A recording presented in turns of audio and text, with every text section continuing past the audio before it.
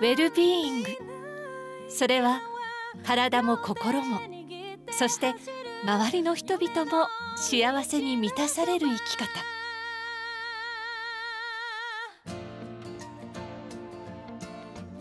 沖縄クリップ。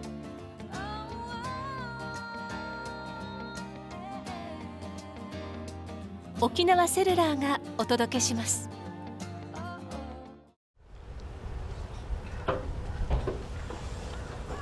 予備炭村のサトウキビ畑で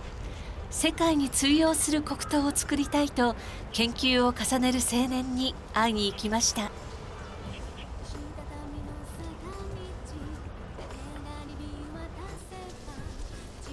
去年から畑を借りてサトウキビ農家となった宮崎雄志さん。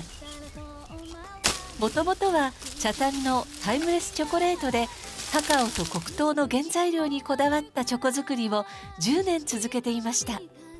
まあ、ギノザの職人さんと糸満でもうずっとされている職人さんの黒糖作りを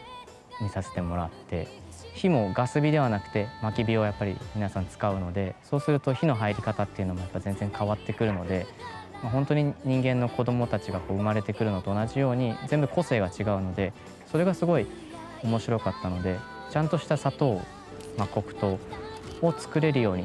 まず勉強していかなきゃいけないなっていうふうに感じたので。カカオ豆の皮カカオハスクを畑にまいてチョコレートの香りがする宮崎さんのサトウキビ畑です。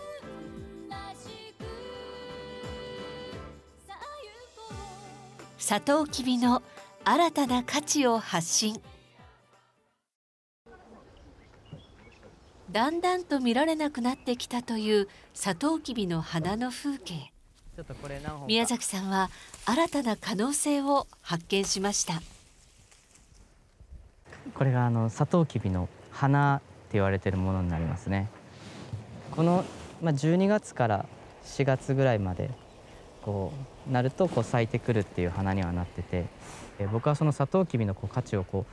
いろんなところから作れば作りたいなっていうところだったのでこのお花自体もすごい価値のあるものだなと思うっていう話をしていたら、まあ、東京のあの花の作家さんだったりとか大阪の作家さんにこの間こう買っていただいて作品を作っていただくってことをしたりとかこの花の可愛さとかっていうのもねやっぱりあんまみんな知らなかったので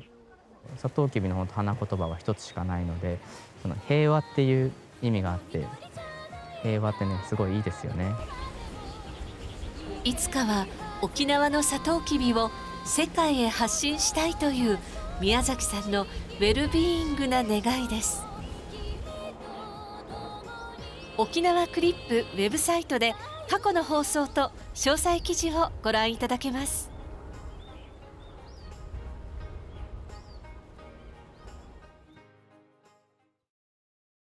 沖縄セルラーの提供でお届けしました。